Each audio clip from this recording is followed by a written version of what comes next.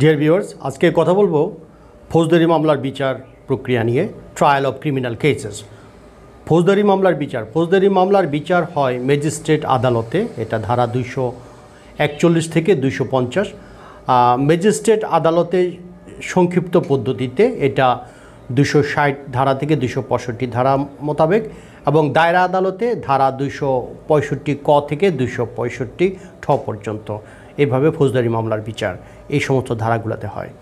মামলার তদন্ত রিপোর্ট দাখিল করার পর সংশ্লিষ্ট বিচারক আদালত চার শুনানির জন্য একটি দিন ধার্য বা নির্ধারণ করে।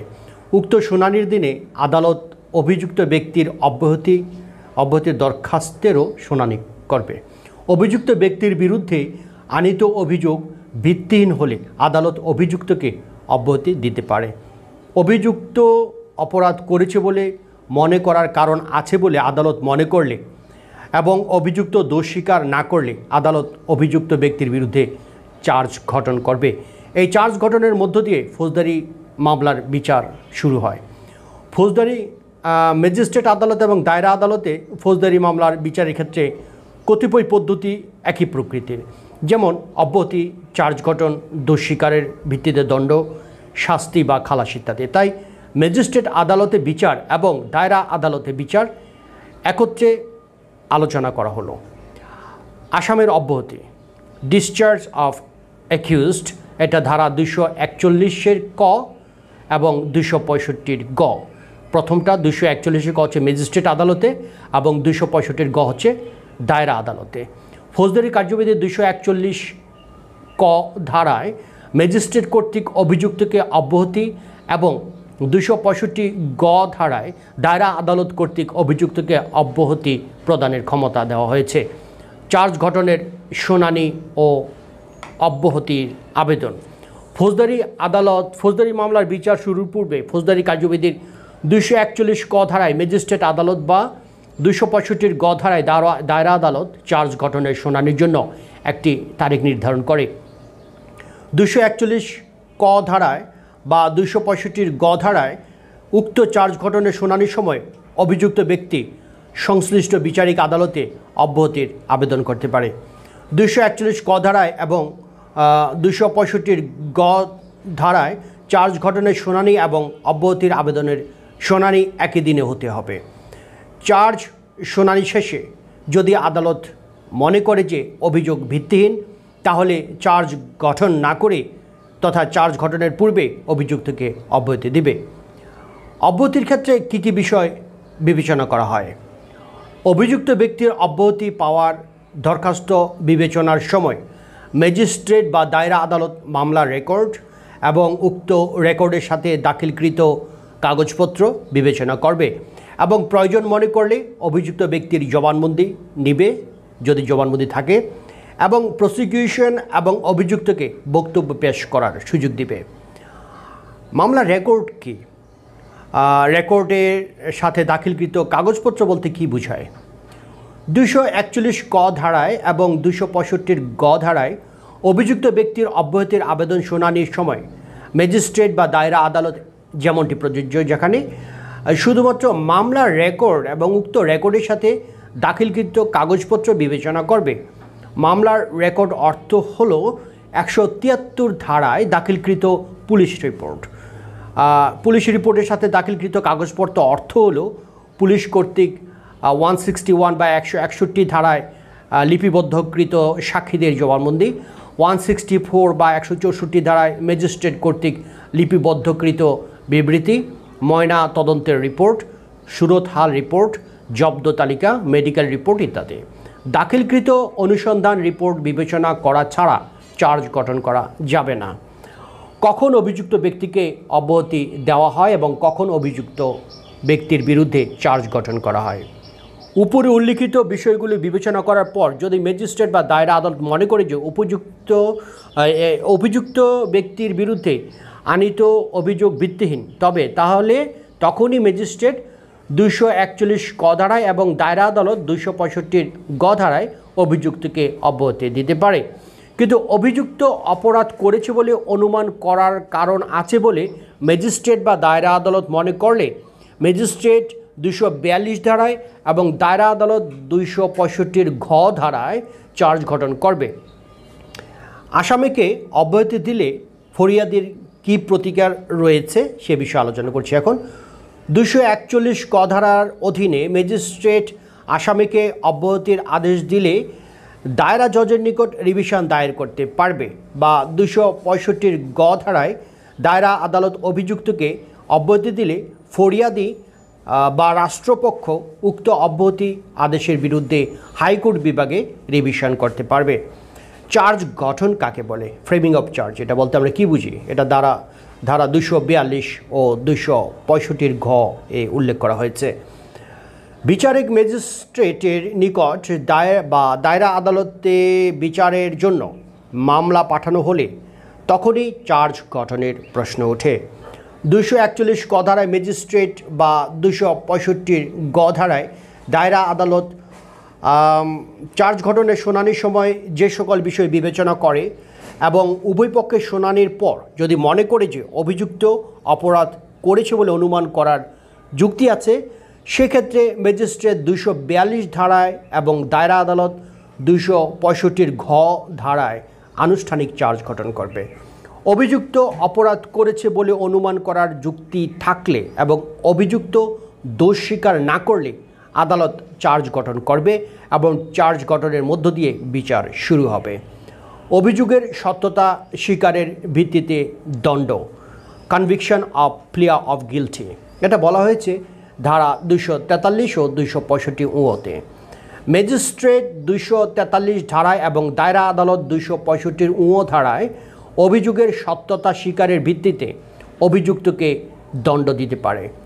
অভিযোগ গঠনের সময় ম্যাজিস্ট্রেট আদালত বা দায়রা আদালত যেমনটি প্রযোজ্য, আসামিকে প্রশ্ন করবে যে তাকে যে অপরাধে অভিযুক্ত করা হচ্ছে বা তার বিরুদ্ধে যে অপ- অপরাধের চার্জ গঠন করা হচ্ছে, সে অপরাধটি করেছে বলে সে স্বীকার করে কি না যদি আসামি স্বীকার করে যে সে অপরাধটি করেছে, তাহলে ম্যাজিস্ট্রেট দুশো তেতাল্লিশ ধারায় এবং দায়রা আদালত দুশো পঁয়ষট্টির উঁ ধারায় অভিযুক্তকে দোষ স্বীকারের ভিত্তিতে দণ্ডিত করতে পারে।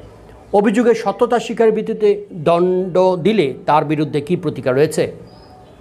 ফৌজদারি কার্যবিধি আঠারোশো আটানব্বই এর চারশো বারো ধারা অনুসারে যে ক্ষেত্রে অভিযুক্ত দোষ স্বীকার করে বা দোষ স্বীকারের ভিত্তিতে দণ্ডিত হয় এবং সে, সেই ক্ষেত্রে দণ্ডিত ব্যক্তি শুধুমাত্র শাস্তির পরিমাণ বা বৈধতা ব্যতীত কোনো আপিল করতে পারবে না। যেহেতু দোষ স্বীকারের ভিত্তিতে দণ্ডের ক্ষেত্রে কোনো আপিলের বিধান নেই, সেহেতু এই ক্ষেত্রে চারশো উনচল্লিশ বা চারশো উনচল্লিশ ক ধারায় রিভিশন দায়ের করতে পারবে। ম্যাজিস্ট্রেট বা দায়রা আদালতে দোষ স্বীকার না করলে পদ্ধতি কী? সেটা বলা হয়েছে দুইশো চৌচল্লিশ এবং দুইশো পঁয়ষট্টির চ ধারায়। ম্যাজিস্ট্রেট আদালতে যদি ম্যাজিস্ট্রেট দুশো তেতাল্লিশ ধারায় অভিযুক্তকে দণ্ডিত না করে বা অভিযুক্ত যদি এমন স্বীকৃতি প্রদান না করে তাহলে ম্যাজিস্ট্রেট নালিশকারীর বক্তব্য শ্রবণ করবে এবং নালিশকারীর সমর্থনে প্রদত্ত সকল সাক্ষ্য গ্রহণ করবে এবং আসামির বক্তব্য শ্রবণ করবে এবং আত্মপক্ষ সমর্থনে প্রদত্ত সাক্ষ্য প্রমাণ গ্রহণ করবে। তবে শর্ত থাকে যে কোনো আদালত যখন নালিশ, কোনো আদালতে কেউ যখন নালিশ করে, তখন ম্যাজিস্ট্রেট নালিশকারী হিসেবে কারও বক্তব্য শুনতে বাধ্য থাকবে না। ম্যাজিস্ট্রেট যদি উপযুক্ত মনে করে, তাহলে ফরিয়াদি বা আসামির আবেদনক্রমে কোনো সাক্ষীর প্রতি হাজির হওয়ার বা কোনো দলিল বা কোনো বস্তু দাখিল করার নির্দেশ দিয়ে সমন জারি করতে পারে। অন্যদিকে দুইশো পঁয়ষট্টির চ ধারায় দায়রা আদালত যদি অভিযুক্ত দায়রা আদালতে যদি অভিযুক্ত অপরাধ স্বীকার করতে অস্বীকার করে বা অপরাধ স্বীকার করে না বা বিচার প্রার্থনা করে বা দুশো পঁয়ষট্টির ও ধারায় দণ্ডিত না হয়, তাহলে আদালত সাক্ষীদের জবানবন্দি গ্রহণের জন্য তারিখ নির্ধারণ করবে এবং রাষ্ট্রপক্ষের আবেদনের ভিত্তিতে যে কোনো সাক্ষীকে হাজির হতে বা কোনো দলিল বা অন্য কিছু আদালতে উপস্থিত করতে বাধ্য করতে যে কোনো প্রসেস ইস্যু বা সমন বা ওয়ারেন্ট জারি করতে পারে। ম্যাজিস্ট্রেট এবং দায়রা আদালতে খালাস বা শাস্তির বিধান কি? এটা বলা হয়েছে ধারা দুশো পঁয়তাল্লিশ এবং দুইশো পঁয়ষট্টির ছ ধারায়। ম্যাজিস্ট্রেট আদালত দুইশো চৌচল্লিশ ধারায় বর্ণিত সাক্ষ্য গ্রহণ শেষে এবং তিনি শত প্রবৃত্ত হয়ে যে অতিরিক্ত সাক্ষ্য যদি থাকে, তিনি গ্রহণ করার পরে তিনি হাজির করতে বলে তখন তা তিনি গ্রহণ করেন। যে সমস্ত অতিরিক্ত সাক্ষ্য গ্রহণ করার জন্য আবেদন করা হয়, তিনি যদি তা গ্রহণ করেন এবং তিনি যদি উপযুক্ত মনে করেন, তাহলে আসামির জবানবন্দি গ্রহণ করার পর ম্যাজিস্ট্রেট যদি আসামিকে নির্দোষ বলে সাব্যস্ত করে তাহলে তিনি খালাসের আদেশ লিপিবদ্ধ করবে। শাস্তি, যখন ম্যাজিস্ট্রেট তিনশো উনপঞ্চাশ ধারা অনুসারে কার্যক্রম গ্রহণ না করে এবং আসামিকে দোষী সাব্যস্ত করে, তখন তিনি আসামিকে আইন অনুসারে দণ্ড দিতে পারে। অন্যদিকে দুইশো পঁয়ষট্টি ছ ধারা অনুযায়ী দায়রা আদালত রাষ্ট্রপক্ষের সাক্ষ্যের জন্য নির্ধারিত তারিখে প্রসিকিউশন পক্ষের সমর্থনে হাজিরকৃত সকল সাক্ষ্য আদালত গ্রহণ করবে। আদালত যদি বিবেচনামূলক ক্ষমতা বলে কোনো একজন সাক্ষীর জেরা অন্যান্য সাক্ষী বা সাক্ষীদের জবানবন্দি গ্রহণ না করা পর্যন্ত স্থগিত রাখে অথবা কোনো সাক্ষীকে আরও জেরা করার লক্ষ্যে পুনরায় ডাকে তাও তিনি করতে পারেন। নালিশকারীর অনুপস্থিতি ও খালাস, এটা বলা হয়েছে দুইশো সাতচল্লিশ ও দুইশো পঁয়ষট্টির বর্গীয় জ। দুইশো সাতচল্লিশ ধারায় বিধান করা হয়েছে, যদি ম্যাজিস্ট্রেট আদালতে নালিশকারী বরাবর সমন ইস্যু করা হয় এবং অভিযুক্ত ব্যক্তির হাজিরার জন্য নির্ধারিত দিনে অভিযুক্ত হাজির হয় কিন্তু নালিশকারী হাজির হয় না, সেক্ষেত্রে আদালত অভিযুক্তকে খালাস দিতে পারে বা পরবর্তী কোনো তারিখ পর্যন্ত মামলার শুনানি মুলতবি রাখতে পারে। কিন্তু অভিযোগকারী যদি সরকারি কর্মচারী হয় এবং তার ব্যক্তিগত হাজিরার প্রয়োজন যদি না হয় ম্যাজিস্ট্রেট তাকে ব্যক্তিগত হাজিরা হতে অব্যাহতি দিতে পারে এবং ম্যাজিস্ট্রেট মামলায় অগ্রসর হতে পারবে। অন্যদিকে দুইশো পঁয়ষট্টির বর্গীয় ধারা মোতাবেক দায়রা আদালত প্রসিকিউশন পক্ষের সাক্ষ্য গ্রহণ, আসামির জবানবন্দি গ্রহণ এবং বিষয়টি সম্পর্কে অভিযোগকারী পক্ষ ও আসামি পক্ষের বক্তব্য শ্রবণ করার পর আদালত যদি মনে করে যে আসামি অপরাধ করেছে, এরূপ কোনো সাক্ষ্য নেই, তাহলে আদালত আসামিকে খালাস দেওয়ার আদেশ লিপিবদ্ধ করবে। অভিযোগকারী কর্তৃক নালিশ প্রত্যাহার ও আত্মপক্ষ সমর্থনের আহ্বান। সেটা বলা হয়েছে দুইশো আটচল্লিশ ও দুইশো পঁয়ষট্টির ঝ ধারায়। ম্যাজিস্ট্রেট আদালতে দুইশো আটচল্লিশ ধারা অনুযায়ী ম্যাজিস্ট্রেটের অনুমতি নিয়ে মামলার চূড়ান্ত পর্যায়ের পূর্বে যে কোনো সময় অভিযোগকারী নালিশ প্রত্যাহার করতে পারে। অভিযোগকারী নালিশ প্রত্যাহার করলে ম্যাজিস্ট্রেট আসামিকে খালাস দিবে। অন্যদিকে দুইশো পঁয়ষট্টির ঝ ধারা অনুযায়ী দায়রা আদালত যে ক্ষেত্রে আসামিকে দুশো পঁয়ষট্টির বর্গীয় ধারা অনুসারে খালাস দেওয়া হয় না, তখন তাকে আত্মপক্ষ সমর্থনের আহ্বান করার এবং তজ্জন্য কোনো সাক্ষ্য থাকলে তা উপস্থিত করার আহ্বান জানাবে। আসামি কোনো লিখিত বিবৃতি দাখিল করলে আদালত দাখিল করলে আদালত নথিভুক্ত করবে। কার্যক্রম বন্ধের ক্ষমতা যে ক্ষেত্রে কোনো নালিশকারী নেই ও যুক্তিতর্ক, এটা বলেছে দুইশো উনপঞ্চাশ ধারা ও দুইশো পঁয়ষট্টি।